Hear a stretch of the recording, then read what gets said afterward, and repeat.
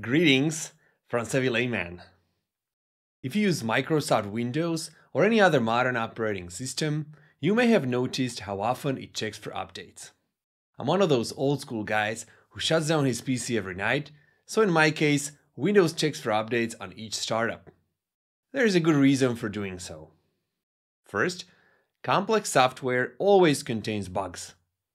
Some bugs may be more annoying than others, but severe security vulnerabilities could ruin your day if exploited by naughty hackers. Second, software updates often come with new features or performance improvements. And that's a good thing.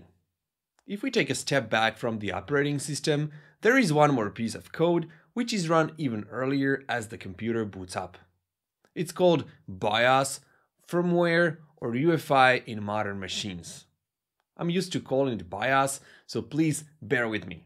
BIOS as such resides in a dedicated, non-volatile flash memory chip on the motherboard. That means the firmware can be overwritten, but it doesn't disappear when the PC is turned off. BIOS also come with the default settings related to different hardware components. Users can tweak these settings, but unlike the firmware, they are stored in a volatile memory, sometimes referred to as CMOS. The only reason why your custom settings don't disappear when the PC is turned off is thanks to a button cell battery which sits on the motherboard and powers the volatile memory. If the battery dies or is disconnected, all settings stored in this memory are lost. This can be actually useful if you accidentally save wrong settings which prevent your PC from passing power on self-test.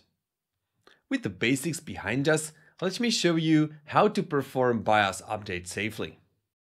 The first tricky question is, how do I enter the BIOS UI in the first place? Since mankind failed to standardize even the most basic things in the world, we have a couple of options depending on the motherboard manufacturer. Delete button is your best bet, but some OEMs use even F2, F1 or F10, etc.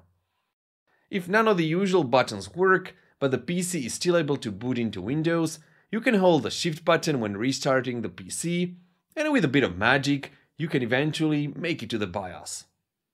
Concerning the update procedure itself, it is often more convenient to perform a BIOS update on a laptop because OEMs such as Lenovo, HP or Dell like to use their custom BIOS and they offer a dedicated software utility to do the job, such as Lenovo Vantage.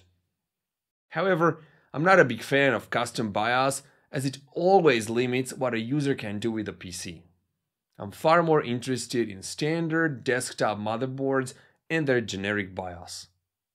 And again, depending on the manufacturer, the procedure may slightly vary, but the main steps are identical across the board. A word of caution before we start.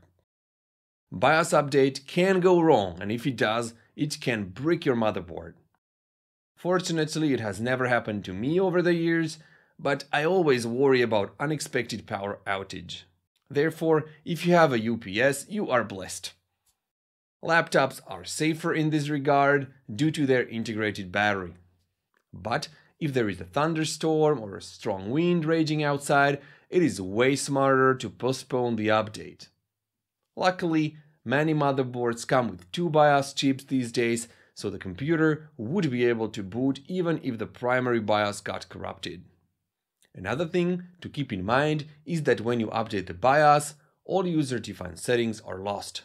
If your BIOS supports profiles, you can save one, but I still recommend exporting the settings to a text file if your BIOS supports it, or taking screenshots, especially when you spend hours overclocking the memory or optimizing the PBO curve like me.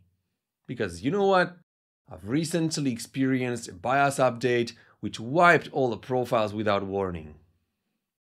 Yeah, that's one of the reasons why I had to postpone the Curve Optimizer video. Don't!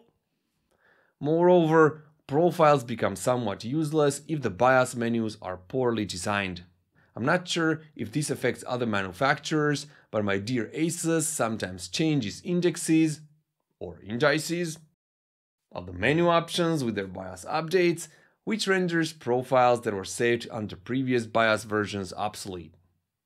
I will soon show you what mess this poor design choice can make.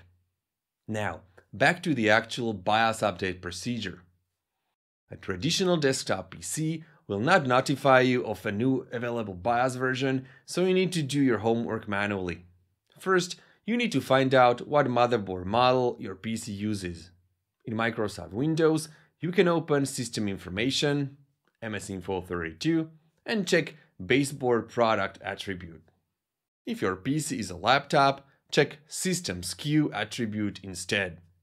You can then visit the manufacturer's website, verify if they offer a higher BIOS version than what you have in place right now, that is BIOS version slash date attribute, download the latest BIOS and follow the installation instructions.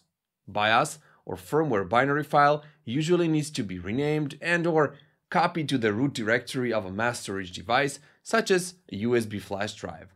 Once this is done, reboot the PC and enter BIOS UI. Find the menu option, which is used to perform the update. It usually contains the word flash. For example, on Asus motherboards, it is called EZ Flash. Select the target drive and locate the actual binary file. Like so. Confirm and wait. This can take a while. Just do not turn off the PC while the update is in progress. When the update is finished, the PC will reboot. Since all the user-defined settings were wiped with the update, they need to be configured all over again. As I said earlier, one can theoretically load the configuration from the saved profile, but it doesn't always work properly. Take a look at these blank attributes. It's a complete mess, and if I save these settings and reboot now, the PC will not post at all. Therefore, the screenshots I took prior to the update will come very handy indeed. Save the profile, then settings, reboot, and voila, that's it. BIOS update is certainly not rocket science, but one needs to play it safe.